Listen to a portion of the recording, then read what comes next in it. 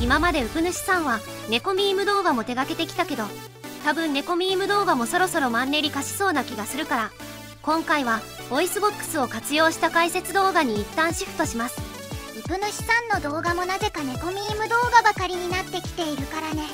今回は猫ミームで紹介していたババババンビについての話をしていきたいと思うの。そういえば新メンバー3人も入ってくるよね。そうあのババババンビババババンビの始まりは4年前の2020年1月。高梨瑠衣さんと岸美優さん吉沢茜さん池田メルダさんの他に当時研究生であった名前がまだないさんの5人で結成したのが始まり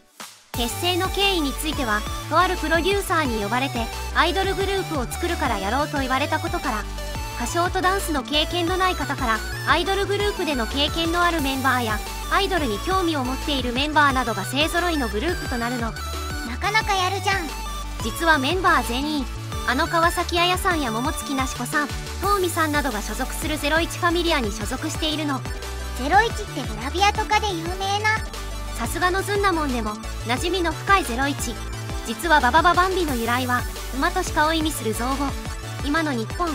嫌なことや難しいことがたくさんあるけどこの瞬間だけはバカみたいに楽しく過ごしていけんじゃないかとをテーマに結成されたユニットとなっているの。バカ騒ぎしようというスタイルむしろ好きになっちゃう。そして3月27日にデビューを予定しており同日に渋谷ビーツ渋谷にてお披露目イベントが開催される予定としていたの。なかなかやりますね。さらに同年3月2日に青色担当として港美桜さんも加入することとなりババババンビは6人体制となりこれからの躍進が約束されたかのように思われたの。えこの後にどうしたの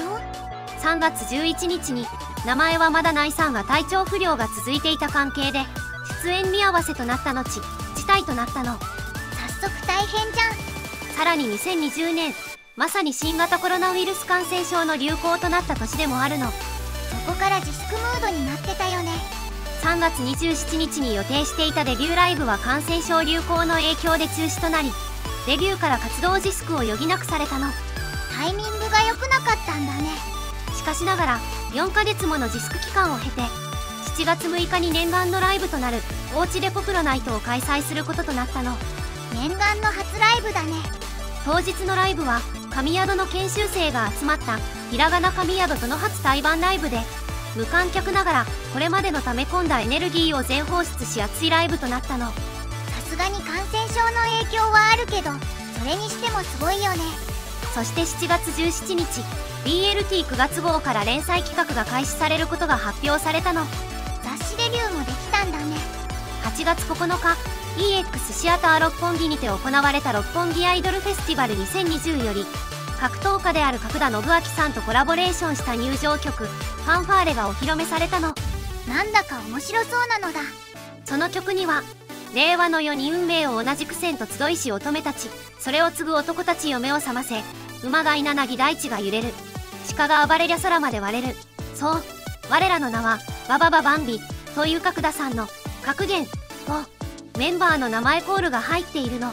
なんか面白そうさらに8月21、22日限定で渋谷109にてポップアップショップも展開するなどどうにか巻き返しできているの。うまくやっていけてよかったね。翌年もさらなる躍進を続けるけどそれはまた次回。わかったのだ